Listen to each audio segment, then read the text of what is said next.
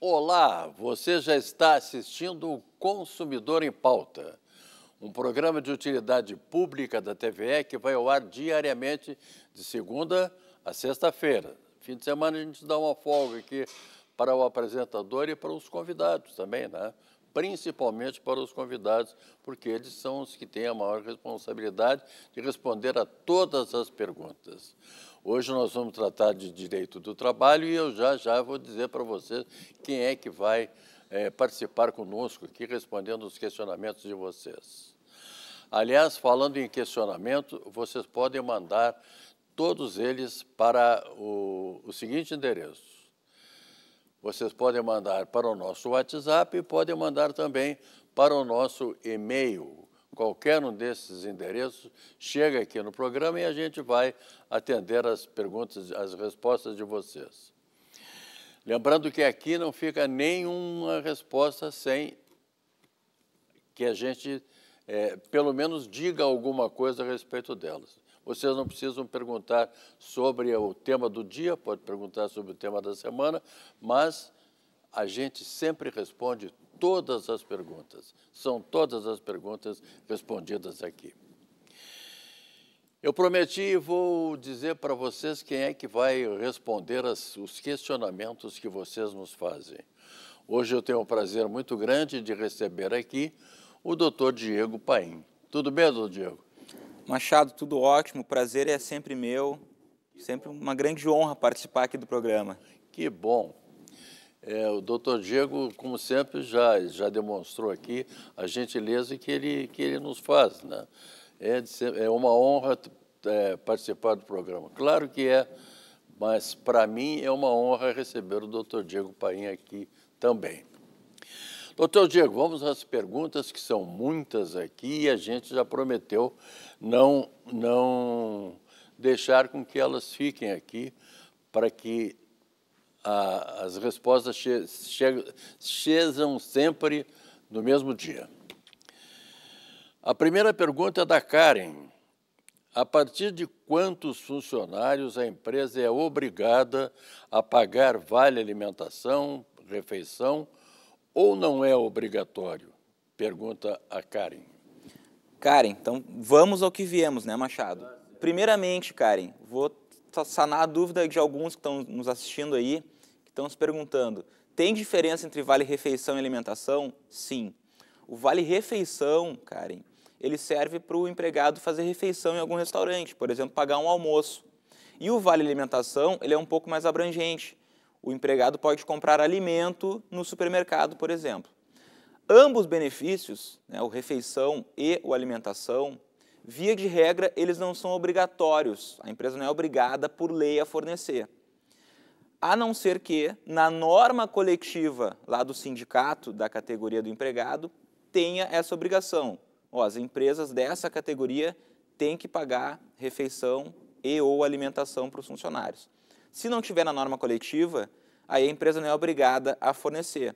Mas a empresa pode, né, Machado, é, como um benefício para o empregado, instituir lá um vale-refeição ou um vale-alimentação mas aí não é obrigatório por lei e não tem essa regra aí de tantos funcionários. Ou às vezes o pessoal pensa, ah, mais de oito horas por dia tem que dar, né? Mas não existe essa regra em lei. É, pois é, minha filha, ela trabalhava em home office, né? E ganhava, um, eu não sei se é vale alimentação ou refeição, mas ela ganhava um dos dois. E também tra trabalhava em casa. Bom, a pergunta agora é de uma anônima. Trabalhei 10 anos em uma firma como faxineira. Agora engravidei e me colocaram na rua. Não tenho condições de pagar advogado. E ela quer saber, doutor Diego, o que, que ela faz? Primeiramente, calma lá. Já fez bem em mandar a pergunta para nós, né, Machado? Claro. Trabalhou 10 anos numa empresa né, e agora, bem no momento que ficou grávida, a empresa dispensou. Isso está certo, Machado? Não, tá não. Isso está muito errado, tá? Porque toda empregada grávida, não importa o tempo de empresa, mas toda empregada que fique grávida, ela tem uma estabilidade provisória no emprego, que vai desde a confirmação da gravidez até cinco meses após o parto. Então, se a empresa lhe dispensou grávida, você liga para eles, manda um e-mail, comunica a eles, olha, estou grávida, não poderia ter sido dispensada. Eles têm a obrigação de lhe reintegrar no trabalho. Tá, mas se a empresa não fizer isso, bom, aí você procura um advogado trabalhista da sua confiança e ingressa com uma ação trabalhista. Nessa ação trabalhista, o advogado vai buscar a sua reintegração no emprego e, além disso, Machado, vamos supor que ela tenha ficado uns 3, 4 meses afastada sem que a empresa tenha lhe reintegrado. Quando ela for reintegrada, a empresa ainda vai ter que indenizá-la pelos salários desde a época da dispensa indevida até o momento efetivo da reintegração. Que coisa, hein? Mas a telespectadora não consegue pagar advogado, não tem problema. Via de regra, né, os advogados trabalhistas, justamente porque o empregado normalmente não tem dinheiro para pagar antecipadamente os honorários, eles cobram um percentual lá no final da ação sobre o êxito. Então, sobre o que der de resultado financeiro no processo, o advogado cobra um percentual de honorários. Tá certo. Então, o doutor Diego veio aqui e deu todas as explicações, tá bem? Então, essa telespectadora anônima não precisa ficar preocupada porque está tudo explícito ali, tá? A pergunta agora é do Ladislau. E o Ladislau diz o seguinte: Minha mulher é contratada como faxineira de um prédio onde trabalha diariamente. Acontece que ela não recebe o 13 terceiro. O síndico alega que, como faxineira, ela não tem direito. É assim mesmo? Caso esse tratamento seja abusivo, o que podemos fazer? Ela tem medo de ser despedida se procurar a justiça. Ela corre o risco ou não? Olha, Ladislau eu tenho duas certezas neste momento agora, tá? A primeira delas é que todos nós um dia vamos morrer. Claro. E a segunda certeza, Machado, é que esse síndico não assiste o programa Consumidor em é Pauta. É verdade. Não Porque assiste. se ele assistisse, Ladislau, ele saberia que isso está completamente errado. Tá? Provavelmente ele está querendo dizer que essa pessoa, acho que é a esposa do Ladislau, né? É a esposa do Ladislau. Ela é uma diarista sem vínculo de emprego. É verdade. Mas trabalha diariamente dentro do prédio. Ora, Machado, vamos explicar para o síndico aqui o que, que diz lá o artigo 3 da CLT, Machado. Considera-se empregado toda pessoa física que prestar serviços de natureza não eventual a empregador sob a dependência deste, mediante salário. Bah, mas o Diego decorou a CLT. É que no dia a dia, há sete anos respondendo essa pergunta aqui, Machado, tá a gente acaba decorando, né? Claro. Mas então, preenchendo os requisitos do artigo 3 da CLT, que eu falei agora, pessoalidade, onerosidade, habitualidade e subordinação, a pessoa é empregada, não é diarista. E sendo empregada, ela tem direito a FGTS, ao 13º que ele não está querendo pagar para ela, a férias anuais com um terço constitucional, hora extra e outras verbas trabalhistas. Então, preste atenção nisso. Se a empresa não pagar, ela tem direito de entrar sim com ação na justiça, não pode sofrer retaliação por causa disso. Tá? E se ela entrar depois que ela for dispensada, ela ainda busca os últimos cinco anos. Então tem que avaliar o que é melhor nesse, nesse caminho aí. Quer dizer que a pessoa, a pessoa não tem um tempo médio para trabalhar, não, a partir de quando ela vai receber esse 13 terceiro, doutor? Machado, sendo empregado, né, nos termos da CLT ali, empregado seletista, né, carteira assinada, tem direito a receber férias, 13 terceiro FGTS e outras verbas trabalhistas. O que acontece é que às vezes a empresa tenta burlar isso e dizer, não, é prestador de serviço autônomo, não é empregado, né? Mas havendo os requisitos do artigo 3 em especial ali, habitualidade, subordinação, a pessoa é empregada e tem direito sim a esses benefícios né, legais. Ainda mais uma faxineira que trabalha diariamente lá no prédio, né, doutor? Exatamente. Não é a pessoa que vai uma vez que outra, né? É claro. É chamado uma vez por quinzena, por exemplo. Né? Não, é uma pessoa que está diariamente obedecendo ordens ali, cumprindo horário, então é empregado. A pergunta agora é do Tiago. Sou síndico, como tem perguntas sobre, sobre síndico aqui, né? Sou síndico de um condomínio e o zelador faleceu no final do mês passado. Quais os procedimentos que devo tomar porque a esposa e o filho não quer, não, para que eles não fiquem desamparados. É, o Joaquim trabalhou conosco por 15 anos. Joaquim deve ser o zelador que faleceu. Sim. Tiago, primeiramente, parabéns por enviar a pergunta aí, né? Como o síndico profissional está buscando, Machado, se aconselhar e fazer a coisa correta. É verdade. O que, que acontece nesses casos de falecimento? Existe né, o INSS que paga pensão por morte. Então, essa viúva né, e o filho, eles podem procurar o INSS por conta própria ou mediante um advogado da área do direito previdenciário para buscar o benefício da pensão por morte. A parte trabalhista, Tiago, né, as verbas rescisórias que a empresa tem que pagar para a família, para, os dependentes desse funcionário falecido, em até 10 dias após né, o falecimento, o rompimento do, do vínculo de emprego, é, o que, que a empresa tem que fazer? Tem que solicitar para a família que eles peguem no INSS, Machado, um documento que se chama Certidão de Dependentes Habilitados à Pensão por Morte. Porque ali o INSS vai estar atestando quem são os dependentes daquele falecido. E com esse documento, se a viúva levar na empresa em até 10 dias, num prazo hábil, a empresa faz o pagamento para os dependentes ali constantes na certidão. Mas vamos supor, Tiago, que a viúva não levou esse documento, né? que a empresa não sabe nem quem é a viúva, nem quem é a família, como é que a empresa tem que agir nesse caso? A empresa tem que entrar com uma ação de consignação em pagamento. Isso significa que a empresa vai entrar com uma ação judicial pagando a rescisão desse funcionário na justiça, vai deixar numa conta do juízo trabalhista, e aí a justiça vai intimar os representantes da, da, daquele falecido para eles comprovarem quem são os reais dependentes para receber aquele valor. E por que, que a empresa faz isso em justiça, Machado? Para ela não pagar aquela multa de um salário caso atrase o pagamento da rescisão. Que coisa, né? A gente nunca pode esquecer que nós estamos aqui no Brasil. E no Brasil sempre tem um jeitinho para as coisas aqui, né? E só para contar rapidamente, Machado, uhum. agora recentemente, mês passado, uma empresa me procurou funcionário faleceu e ele não sabia que era família. E acredita, Machado, que apareceram duas esposas para pegar a rescisão dele na empresa? Olha, doutor, isso é muito bom, porque tem gente que aparece com três, quatro esposas é, lá. Mas o que a empresa teve que fazer? Entrar com uma consignação em pagamento, agora elas vão ter que comprovar quem é a real dependente. Claro. E também pode ser as duas, né? Também pode ser as duas. É. Que coisa séria isso, né? Temos a pergunta de uma anônima aqui, ó. Assumi como síndica do condomínio onde mora.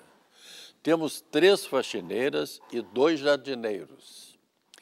Eles disseram que tinha que ter um, uma CIPA, pois o condomínio tem 40 apartamentos. É isso mesmo? Estou bem atrapalhada. Só aceitei ser síndica porque nenhum dos outros moradores aceitou. Ah, isso é complicado. É. Então vamos lá, doutor. Quem não é profissional da área, Machado, é, realmente é muito difícil ser síndico. A pessoa acha, ah, é só administrar ali, mas tem muito detalhe.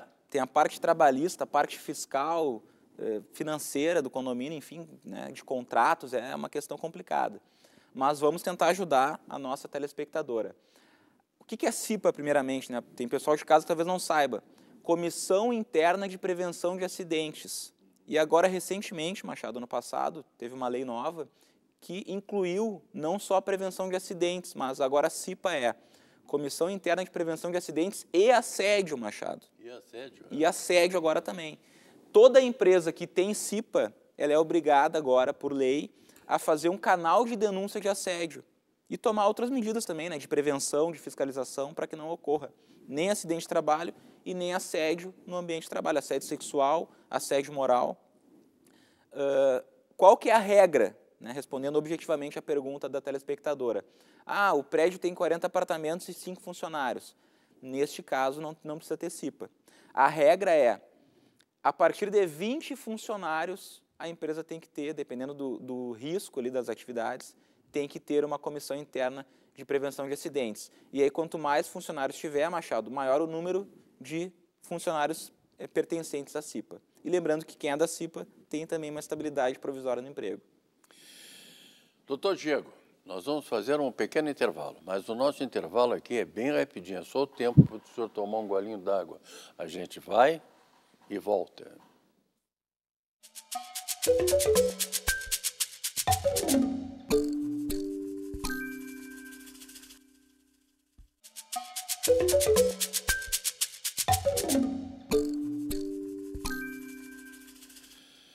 Estamos de volta ao programa É o Consumidor em Pauta e hoje nós estamos tratando de direito do trabalho. Estou conversando aqui com muito prazer com o doutor Diego Paim, que é especialista em direito do trabalho.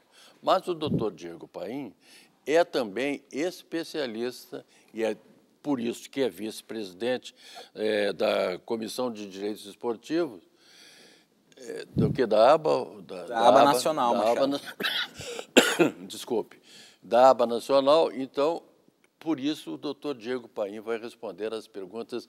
É, primeiro, ele vai responder as perguntas que tenho aqui. E segundo, ele vai explicar para mim o que, que é o direito esportivo e o que, que abrange isso aí.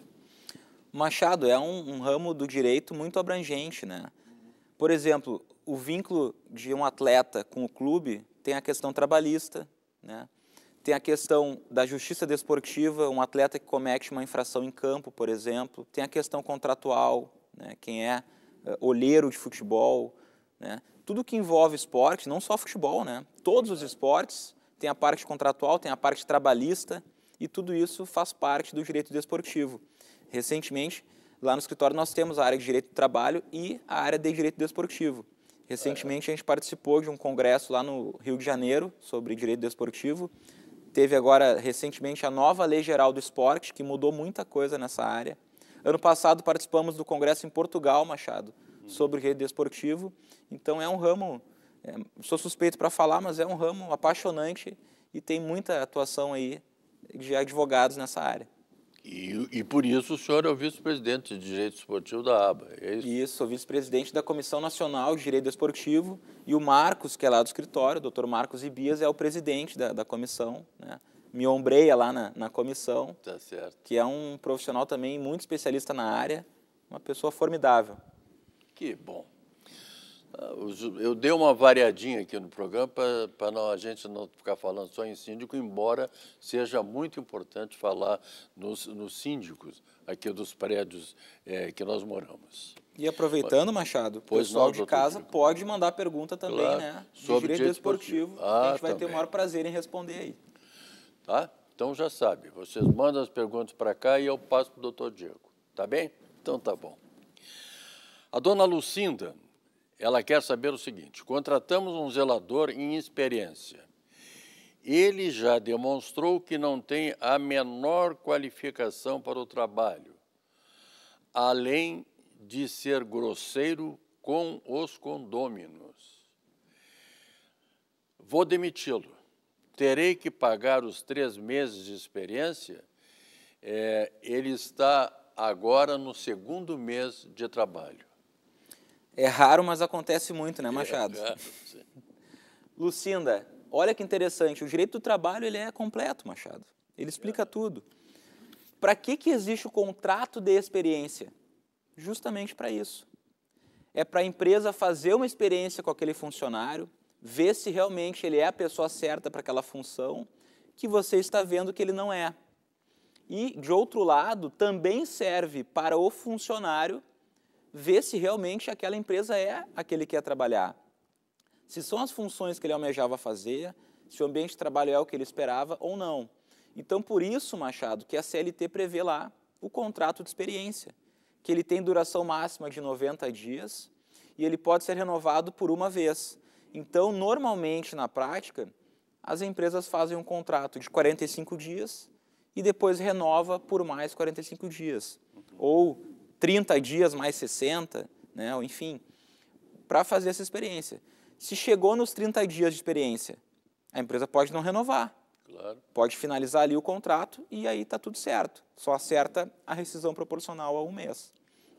Agora, por exemplo, no caso do, da pergunta objetiva da telespectadora, da Lucinda, ele fez, ela fez contrato ali de 90 dias, pelo que eu entendi. E está no segundo mês, Machado. Então, falta um mês.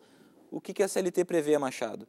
Que a parte que decidir romper antecipadamente o contrato de experiência, ela tem que indenizar a metade do período faltante para a outra parte. Então, se o empregado quiser abandonar ali, ah, não, não quero mais, vou, eu vou antecipadamente rescindir com a empresa. Tem que indenizar a empresa a metade do período faltante. Assim como a empresa também decidiu uh, rescindir antecipadamente, tem que indenizar metade do período faltante. Então, a dona Lucinda ela tem que, para dispensar o funcionário agora no segundo mês, ela tem que pagar a metade do terceiro mês. Exatamente, está lá no artigo 479 da CLT, né? é justamente isso que fala lá. Além das rescisórias normais, né, Machado? Claro. Décimo terceiro proporcional ao tempo trabalhado, férias proporcionais, ainda metade do período faltante, porque é como se equivalesse a um aviso prévio, uhum. né? mas aí não é cheio, é metade do período faltante. A pergunta agora é do Jurandir. Gostaria de levar uma sugestão na próxima reunião de meu condomínio. Quais são as vantagens e desvantagens de terceirizar o síndico, principalmente em relação a custos? Caso a firma contratada não tenha a qualidade que pensamos, seremos obrigados a mantê-la até o fim do contrato? Pergunta o Jurandir. Mais uma situação de síndico, né, Machado? É verdade. E interessante que nós falamos agora há pouco, não é fácil ser síndico quem não é um profissional da área. Não é fácil. Tem muito detalhe que envolve a função, a profissão de síndico. E Jurandir, se me permite aqui comentar uma questão, eu aprendi na vida, Machado, que o barato sai caro. Sai mesmo. Não é verdade? Sai, sai mesmo. Machado tem um pouquinho mais de experiência que eu, pode confirmar é, que tenho, sim. o barato normalmente sai caro. Então não adianta querer economizar com uma questão, ali na frente isso pode sair muito caro. E eu, como advogado, lhe digo: acontece muito problema com síndico que não é profissional. Acontece também com quem é profissional, mas acontece mais com quem não é. Por quê? Eu vejo muita vantagem, Jurandir, em contratar um síndico profissional. O condomínio vai desembolsar um valor mensal? Vai, mas eu acho que é uma economia a médio e longo prazo. O síndico profissional, Jurandir, ele é uma pessoa neutra, né? ele é profissional, ele tem experiência na área, ele vai representar os interesses do condomínio de forma imparcial, não vai estar torcendo para um condomínio ou outro. Né? Ele é uma pessoa que provavelmente tem uma carteira de contatos profissionais, então precisou trocar a cerca elétrica do condomínio, ele vai ter os fornecedores e acaba, às vezes, saindo mais barato do que se o condomínio procurar e contratar por conta própria. Né? O síndico tem, o profissional, ele tem uma responsabilidade né, eh, profissional maior. Então, por vários aspectos, eu acredito que seja melhor contratar, sim, um síndico profissional. E nada impede, Machado, e Jurandir que nos assiste, de fazer uma experiência. Claro. Acontece, às vezes, o síndico faz uma experiência ali, ah, três meses, e aí depois de três meses se faz uma assembleia para ver se vão efetivar aquele síndico profissional ou não. Né? Tem algumas empresas renomadas no mercado aí. Então, acho que valeria a pena fazer uma experiência, uma, uma sugestão aqui para o Jurandir, faça uma experiência e, gostando do trabalho do síndico, contrate aí por um mandato, mandato normalmente de um ano, né? Uhum. o mandato, e é renovável em assembleia, tá né? ou não. O... Agora, falando sobre síndico profissional, ele pode ser síndico de, de mais um prédio ou não? Claro, Machado. Normalmente, é né, as empresas de sindicatura, elas têm uma carteira de clientes ali. Né? Tem algumas empresas que eu presto consultoria de sindicatura que tem ali, algumas têm cinco, outras têm 50 condomínios, depende do porte da empresa. Uhum. Né? Aí se elege um síndico ali, fica responsável por uma carteira de três, quatro condomínios, né? para conseguir realmente atender. E o bom também, Machado, às vezes o síndico morador ele passa o dia inteiro trabalhando na rua. O síndico profissional não. Ele tem uma escala ali que ele consegue estar no condomínio frequentemente. Então tem mais essa vantagem ainda. Que bom. Eu moro num prédio, já fui subsíndico lá e mas a, a, pessoa que, que é síndica continua lá como síndica até hoje. Eu caí fora porque realmente tenho muitos problemas aqui, né? Não problemas é, nenhum, problemas eu diria que nenhum, porque eu, eu, eu trabalho normalmente porque gosto de fazer isso aqui. Tá? Tenho um prazer muito grande em apresentar o consumidor em pauta. Doutor Diego, a Josiane, ela diz o seguinte, sou empregada doméstica e estou em licença maternidade. Minha patroa pode me demitir quando voltar a trabalhar? Tem, Tenho, terei o direito de amamentar meu filho no trabalho? Pergunta Josiane. Josiane, sim. Tá? A empregada doméstica também tem essa estabilidade Quanto? Quanto? da gestante, Machado. Que vai desde a confirmação da gravidez até cinco meses após o parto. Repito, a empregada doméstica também tem direito a essa estabilidade. É uma questão até polêmica às vezes, Machado, mas lembro a todos que essa lei que garante a estabilidade da gestante, ela procura proteger não só a mulher, que está no momento lindo, diga-se de passagem, gerando uma vida, né, mas também o nascituro, o próprio bebê.